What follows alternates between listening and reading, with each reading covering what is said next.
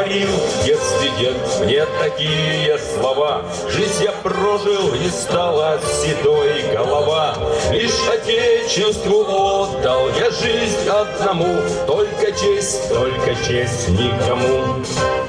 Честь имею, и ее не продаю, честь имею, в мирной жизни и бою, честь имею.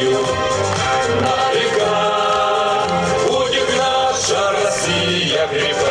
Селе Покровское состоялся юбилейный 10-й открытый районный патриотический фестиваль имени Федориса Ахмаева «Честь имею». Имя этого солдата знают все покровчане. Здесь в его честь названа улица и установлена мемориальная табличка. Он погиб во время чеченской кампании в 1996 году. Посмертно награжден Орденом Мужества. Ну, как и все дети, садик ходил на майку. Вырос, учился средненький. Ну, не, не хвалю, что он такой хороший. Такой же, как и все дети, так же и вырос.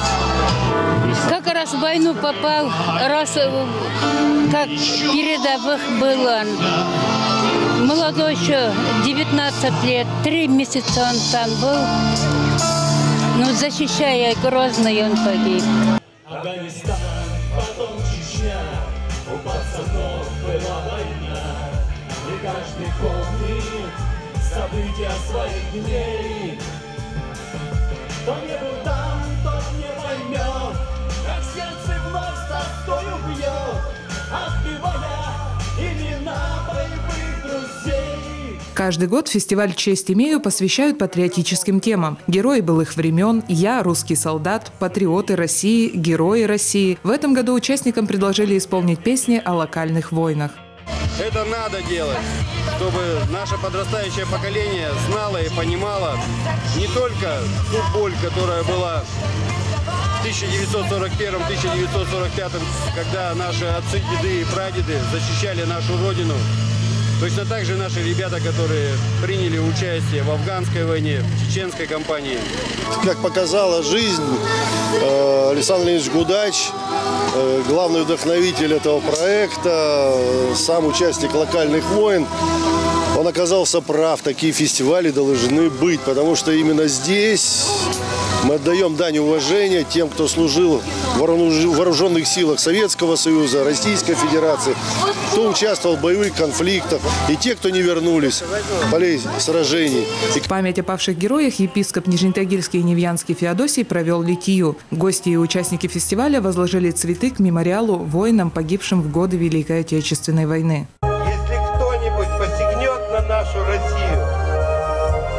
Получит достойный отпор. Мы все как один поднимемся на защиту нашей Родины.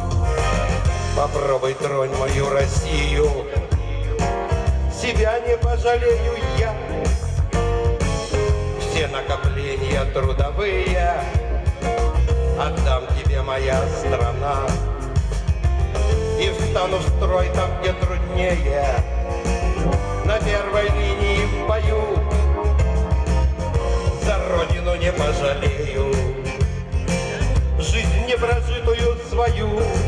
все песни, вся тематика фестиваля пронизана и искренними словами о родине, о чести, о долге.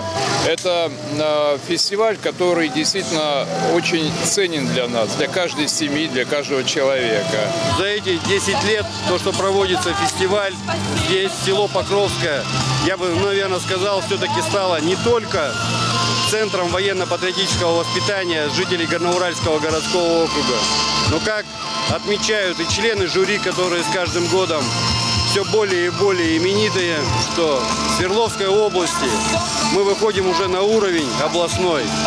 Выступление участников оценивают руководитель проекта фестиваля «Честь имею», первый заместитель главы администрации Горноуральского городского округа Александр Гудач, автор-исполнитель военно-патриотических песен, ветеран воздушно-десантных войск, ветеран войны в Афганистане Сергей Земцов и председатель жюри ветеран войны в Афганистане, ветеран воздушно-десантных войск, кавалер ордена Красной Звезды, автор-исполнитель, композитор, поэт, лауреат международных всероссийских фестивалей и конкурсов Евгений Бунтов.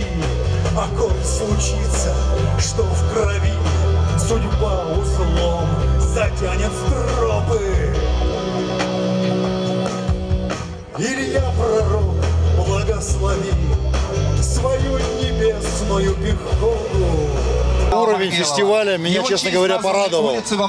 Даже сравнивая его с другими фестивалями, даже всероссийскими, но я порадовался за уральцев. Гордость берет. Очень хороший уровень. И исполнителей, и организаторский очень хороший уровень. Сын генерала Маргелова. Уровень погоды, уровень подготовки, в общем, все уровни в Афганистане, выполняют задачи на пятерочку. В этом году на фестиваль поступило 60 видеозаявок от авторов и исполнителей со всей Свердловской области. Из-за ограничительных мер три недели члены жюри отсматривали ролики участников. Лучших пригласили выступить на гала-концерте.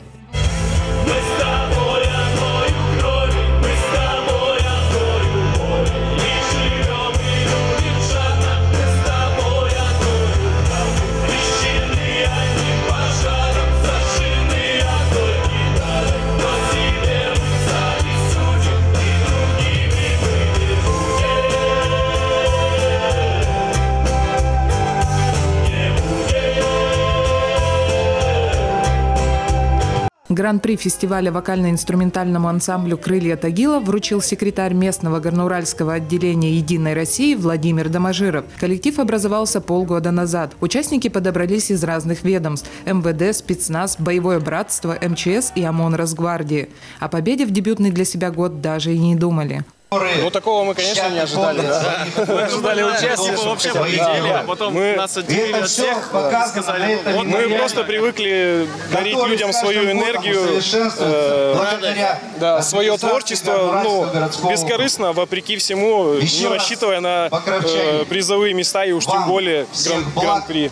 В честь 91-й годовщины образования воздушно-десантных войск на фестивале прошли показательные выступления спортсменов-парашютистов, среди которых мастера спорта и члены сборной Свердловской области. Они развернули купола в цвета российского флага, флагов ВДВ и ветеранов Афганистана в небе над фестивальной площадкой. Никто, кроме нас, не выдержит это. Воздушный десант самом краю. Никто, кроме нас, мы падаем в небо, несут купола победе в бою.